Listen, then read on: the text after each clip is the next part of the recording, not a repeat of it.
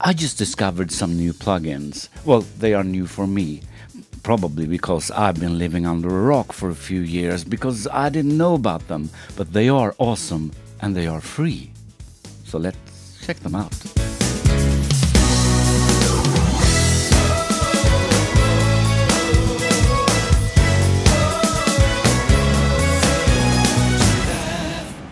In the mess of building my new home studio, I also changed computer and I decided to make a clean install. I mean, install everything from the beginning because I hope that my file structure will get better that way. Well, that's what I'm thinking anyway. It's a lot of work and some of my plugins don't work anymore. Some plugins I have to buy their new version of to get them to work with my new M1 processor. And I was a bit annoyed, but I found some new plugins with your help. They are called Analog Obsession and they are fantastic. Let's listen to how they sound. I made a quick mix of the Roger That song of 2021 with only Analog Obsession plugins. It sounds like this.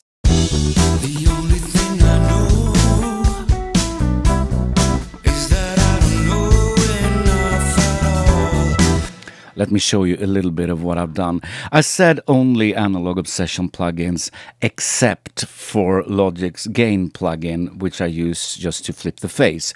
Otherwise, it's only analog obsession. If I go into the that folder of analog obsession, you can see there's a bunch of plugins. I haven't downloaded all of them, but there's still a lot. I can mix a record with only these plugins if I'm maybe I need a, delay and another reverb. Otherwise, I can use only these plugins, and they are that good.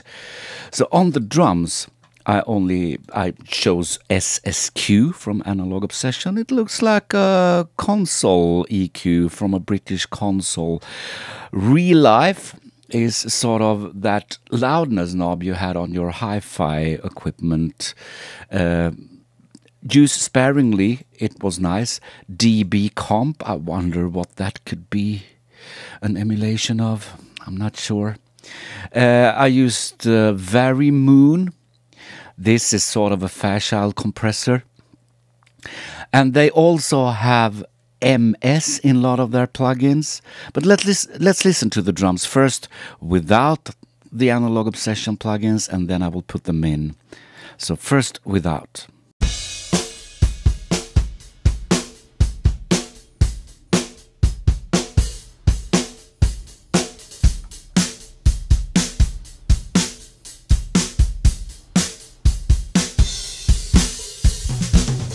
That's how they sound, and they also have a reverb. They say it's a room reverb. I like to think of it as a plate reverb more. It sounds more like a plate. I have it on my overhead and on my snare drum a little bit. I will exaggerate it so you can hear it.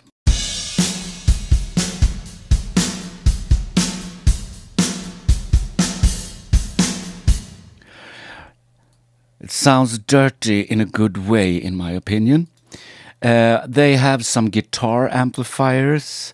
I put one on my bass. I cloned the bass. I cloned. I just copied the bass track. So I have one clean bass track that sounds like this.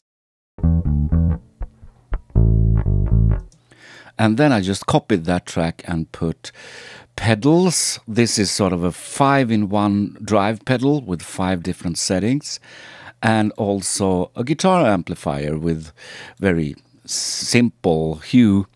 Uh, now that track sounds like this.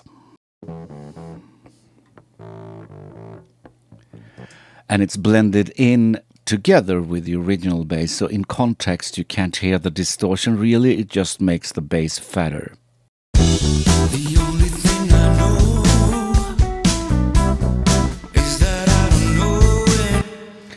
They also have a de-esser, which I used on the vocal. A FET compressor, like an 1176, really, really good, with a slam function. Uh, a channel strip, looks like a console channel strip with mic pre, de-esser, equalizer, compressor, and limiter. Uh, that was uh, and this one yes this is what you suggested I, I should check out. This is a pultec eq style and it sounds wonderful especially the top end. The top end is silky smooth never harsh. It just lifts the treble lifts the air above the signal you're you're putting it on. Maybe it doesn't have the big, huge transformer sound you get from Softube UAD waves, but the EQ sounds wonderful. Let me play with that a little bit on the vocals so you can hear what I mean. I will just uh, solo the vocal and I will get rid of the boost on the top and then raise it so you can hear. The only thing I know is that I don't know enough at all. Everywhere I go, it just gets shinier without getting harsh. I love this plugin, really love it. Uh, then I have a compressor, another compressor on it. One thing that was really cool is that they have this a console emulation with an input and output, and you can distort this input uh, knob as well. You can change from bus to track, three different console settings. I don't know which consoles are emulated gray, blue, and black. And then also XFMR, which is the transformer. I put this on my stems just to glue the mix a little bit together.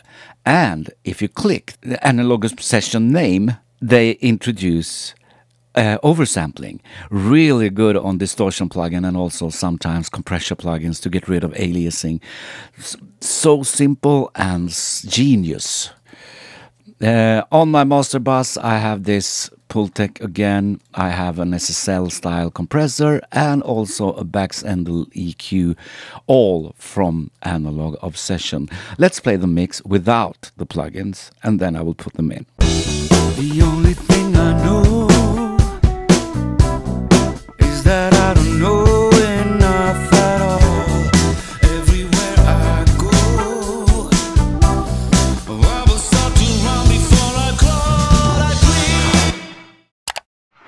So there you have the Analog Obsession plugins.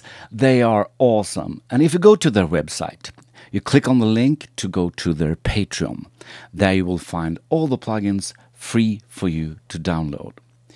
Or you can become a patron so they will get a little money for the work they've done. My recommendation is that you become a patron, maybe for a few months, and then you can cancel your subscription. Then you have sort of paid a little bit for these great plugins. The Swedish word of today should be obsession. Obsession in Swedish is besatthet. Besatthet. Try to say that a few times in a row. Until next time, Roger that.